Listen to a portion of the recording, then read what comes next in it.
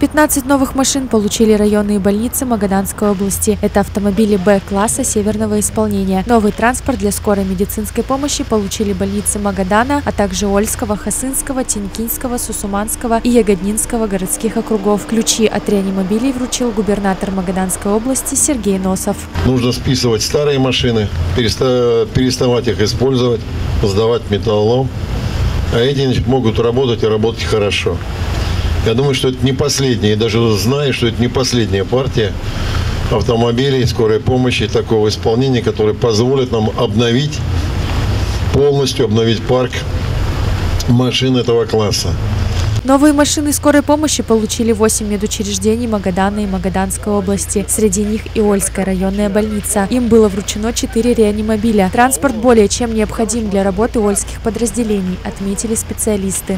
Из полученных четырех автомобилей, два автомобиля будут нами использованы для нужд э, инфекционного госпиталя для лечения больных коронавирусной инфекцией.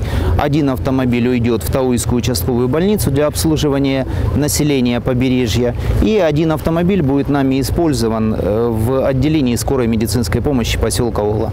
В следующем году будет организована программа по строительству и ремонту гаражей всех районных больниц. Бюджет на это заложен, поэтому статья расходов гарантирована, отметил глава региона. Эксплуатация и грамотное использование нового транспорта остается уже за сотрудниками медучреждений.